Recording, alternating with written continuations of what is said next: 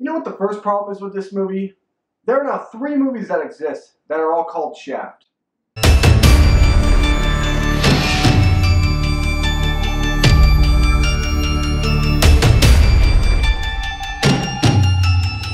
What is going on guys? Welcome back to my channel and this is my review of the new Samuel Jackson led action comedy Shaft. Shaft was directed by Tim Story and it stars of course Samuel Jackson as John Shaft, who this time has a son, John Shaft Jr., who is investigating the death of his friend and he looks to his father for help as a private investigator. You know what? It doesn't even matter. The, the plot doesn't matter. The plot of this movie is so dumb. It, it's stupid. It's a stupid, dumb plot. However, this movie's not terrible. It's not terrible. It's not good, but you can find a lot in this movie that you can like, essentially. One of the things that stands out to me is the obvious thing Samuel Jackson. I mean, he's so good as John Shaft. I mean, he's so charismatic. Samuel Jackson has so many tools that make him a bona fide star in the industry, and he puts them on display here. Unfortunately, the script is really bad. There's some cringy moments, some cringy dialogue here and there throughout the story, and also the other characters. I don't, I didn't give a crap about any of them. I didn't care for for his son. I didn't care for the old love interest. I didn't care for the son's love interest. I didn't care for her very much. And so a lot of this movie just becomes filter. It becomes background noise. You know, one of the things that I loved about A Star is Born, the movie, now these are two different movies, so I'm not comparing them at all in the slightest. One thing that I loved about A Star is Born is Bradley Cooper's character, Jackson, says this. He says, You need to have a voice. And this movie just doesn't have a voice. There's nothing about this movie at all that screams, this was supposed to be made for this reason. I mean, granted, movies are made for money, you know, for the cash cow, but but this movie just to me felt unnecessary, unneeded. It was almost a film entirely that just could have been told in a 10 minute short film with other actors. Maybe you won't have anybody who's as charismatic as a Samuel Jackson in the lead role, but everything around this story is just really dumb. It's really stupid.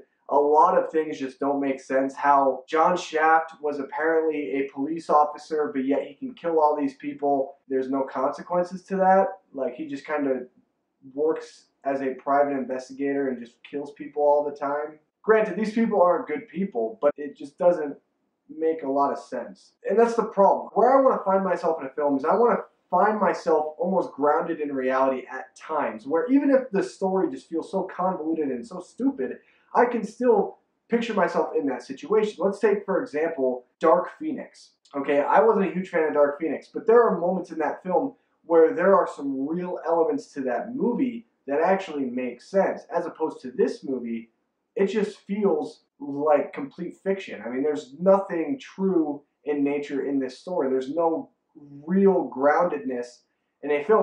A, lot of people love the Fast and Furious franchise. I'm not a huge fan of that franchise because of how ridiculously over the top they go. If you're that type of person who loves you know movies like this where it's not really grounded in reality, I mean that's that's totally fine. But to me, I want more. I want something that feels authentic, it feels real, it has a voice, and it has a reason to be made. And Shaft just doesn't have that. Again, there are some really funny moments in this movie. I think this movie is funnier than Men in Black International that came out this same weekend. Shaft is a lot of Samuel L. Jackson saying the word mother fricker. Obviously, I'm filtering myself.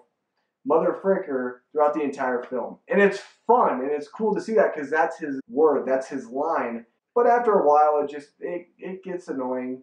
It gets old pretty fast, and that's kind of how I felt about Shaft. It just it felt too long for me and then the whole plot thread of all these different organizations and all these people somehow like working together selling drugs and ultimately it, it led in this character's death oh okay okay so anyway guys yeah shaft is a movie you don't need to see anytime soon but it is a fun time if you're looking for a good comedy something with samuel jackson in the lead role then definitely go check out this movie but I would wait until it's on Redbox or a streaming service like that so you don't spend a lot of money towards going out and buying a ticket and watching this film in the theater. Anyway, guys, what did you think of Shaft? Let me know your thoughts down below in the comments section.